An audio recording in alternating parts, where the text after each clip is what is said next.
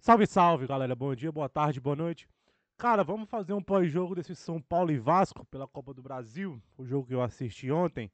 É... São Paulo 2 a 0 né? Deu uma, um belo passo aí para se classificar. Eu acho que se tivesse a questão do gol fora, eu acho que o São Paulo tava 90% de classificado.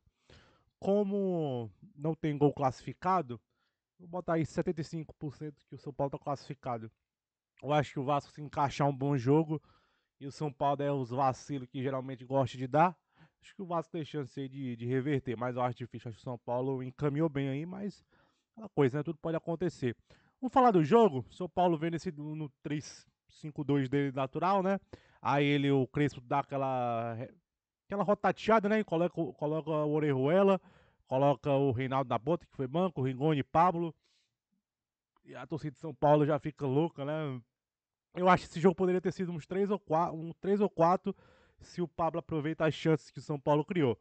Mas, cara, apesar, tipo assim, você vê aqui os detalhes do jogo, ó, você vê aqui no gráfico, de certa forma foi um jogo equilibrado. Eu acho que o primeiro tempo foi mais do São Paulo, o segundo tempo o Vasco caçou mais o jogo, mas o, o Vasco para mim tem um problema meio que é um problema que muito time tem, mas eu acho que no jogo de ontem deu para ver que é bem latente isso.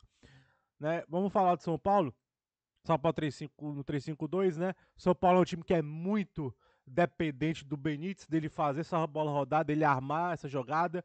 O São Paulo é uma coisa que já contra o Flamengo gosta muito dessa bola nas costas ali no aquele corredor da esquerda pro Rigoni ou pro Marquinhos para pegar em velocidade, tem essa bola, ele procura essa principalmente a área esquerda ali, que é geralmente o lateral esquerdo do time ao contrário ao São Paulo sofre muito. E no começo do jogo as chances ficam criadas por ali, o gol sai basicamente por ali, né? Uma bola com uma bel, belíssima bola do Benítez, né? Que bota a bola lá e o, o Rigoni faz faz 1 a 0. Ali o jogo ficou um jogo tipo assim, não ficou um jogo feio, mas ficou um jogo um jogo jogado, mas meio travado, porque as duas equipes elas têm certos problemas de criação, eu acho. Porque São Paulo depende muito do Benítez aparecer para criar alguma coisa. Acho que o Orejuela fez até uma boa partida ontem comparado ao que ele vinha jogando. Não entendi muito bem essa nota. Eu acho que ele jogou até melhor que o Reinaldo. Mas. É... E o São e o Vasco, você vê, o Vasco é o time que joga nesse 4-3-3 ali, aquele 4-2-3-1 com o Marquinhos Gabriel se aproximando mais. Só que eu acho que um time que depende muito do Bruno Gomes, que é o segundo volante ali, que até altera ali às vezes com o Galaza, que ele é esse cara que dá essa correria, que dá essa pegada. Acho realmente. Eu, eu acho que ele deveria ter sido a melhor nota aqui. Eu acho que pra mim, do Vasco, foi o melhor jogador, foi o Bruno Gomes. Eu acho que ele é o cara que, que dá. Eu acho que o, que o Vasco é um time que necessita muito essa bola nos fundos, né? pros pontas, pro Léo Jabá, pro, pro Léo Matos, pro lateral chegando, pro Zeca, pro Gabriel Peck. Porque no meio-campo do Vasco não tem muita criação. O Marquinhos Gabriel não é esse meio de criação. E você vê que o, às vezes o Vasco tentava jogar o jogo por ele e dava uma engasgada. Né? Aí, tipo assim, não é muita função do Gabriel, Gabriel ser esse meia de ligação, de fazer. Eu acho que o Marquinhos Gabriel ser um meia mais. que cai mais pra ponta, que vem dialogar um pouco mais com os pontos, ele fica muito centralizado. E, tipo, vamos ver aqui o mapa de calor dele. Ó, ele tá até tenta que caia um pouquinho mais, ele fica muito centralizado aqui, ó. Até ele cai um pouco mais pela esquerda, que é o lado natural dele. Mas eu acho que ele centraliza muito ainda, eu acho que ele devia dialogar mais, cair mais, entendeu? Fazer o jogo correr mais pelas pontas. Ele fica muito centralizado, e Marquinhos Gabriel achando ter aquela mesma velocidade, o jogo não flui tanto. Aí você precisa do Bruno Gomes. Esse, assim, ele vai, ele volta, ele dá uma pegada. Ele jogou muito bem ontem, ele dá essa, esse ritmo pro Vasco, ele bota, ele aciona os pontas. E o Cano é um cara que se movimenta muito. Então o Vasco depende muito dessa movimentação, porque criação, assim, uma armação, eu não vejo muita cor no Vasco. Depende muito do Cano voltar, dele vir, ele perturba, né? Ele é baixinho, ele perturba o zagueiro, ele vem, fala aqui com ponta e tal. Então, falta essa criação no Vasco. O primeiro tempo termina 1x0 Aí tem o, o Arboleda sai machucado, né? E aí o segundo tempo volta. Segundo tempo era o Vasco tentando, sai pro jogo, o tentando equilibrar, o, o São Paulo aproveitava assim as escapadas que dava, o Pablo perdeu as duas chances, e no escanteio lá o, o, o Pablo fez de cabeça 2 a 0 aí queimou a língua de muito torcedor de São Paulo, né? Mas queimou a língua porque é, faz parte do futebol, você critica, critica, critica, às vezes o cara vai lá faz um gol, faz parte do futebol, né? Então é isso. Cara, esse time do São Paulo ainda é muito Benítez dependente, entendeu? É, e é um time que não tem um 9, o cara do gol. Que estão tão atrás do Benedetto, né? Porque acho que se depender de Vitor Bueno, Pablo, para fazer gol, vocês vão passar uma certa fome, né? Então.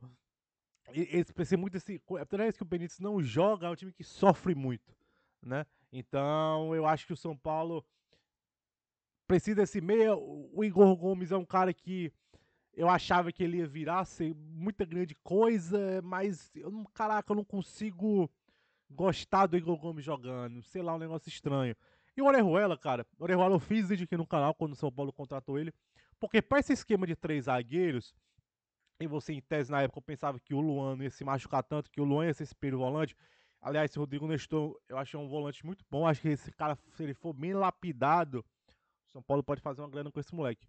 E, e nesse esquema de três zagueiros do Crespo, porque o Orejuela, o forte dele é o apoio, não é muita recomposição, defender, não é muito dele, né?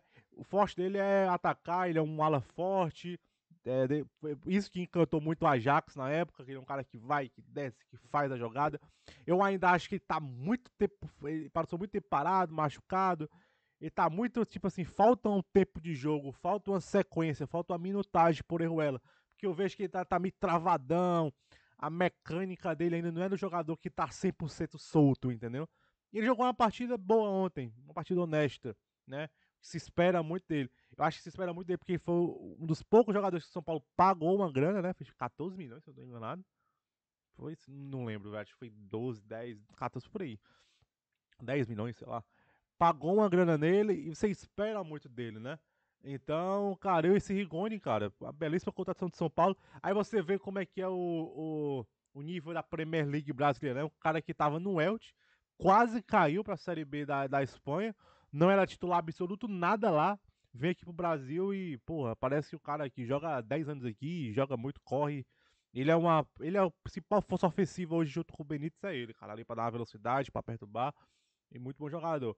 E o Vasco, cara, dos times que da, da Série B, né, que esses Botafogo, Cruzeiro, Vasco, eu acho que o Vasco é o que tem mais chance de subir. O Cruzeiro, a, a preocupação do Cruzeiro pra mim é não cair, velho. E o Botafogo, então se o Botafogo tinha uma sequência muito boa, encaixar o time ali, pá, mas eu acho que o Botafogo ainda difícil de subir. Mas o Vasco, eu acho que o time tem mais chance de subir pelo elenco que tem. Zeca é bom jogador, Castanho, bom zagueiro. Esse Bruno Gomes é bom jogador, acho que o Cano é um atacante de nível Série A, né? Então, cara, mas eu acho que se fosse o Vasco, tentaria achar esse meia, não sei se no banco, é, deixa eu ver, entre o Sarrafeiro, só que o Sarrafeiro é mais ponta, né? Um meia mais ponta. É, cara, eu acho que se fosse o São Paulo, eu o, o Vasco eu tentaria trazer um meio mais de criação, cara, para dar uma. Porque.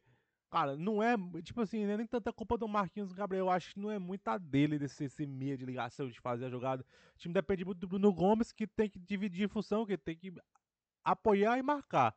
Né? Então, aquela coisa. É, eu acho que o Vasco meia aqui.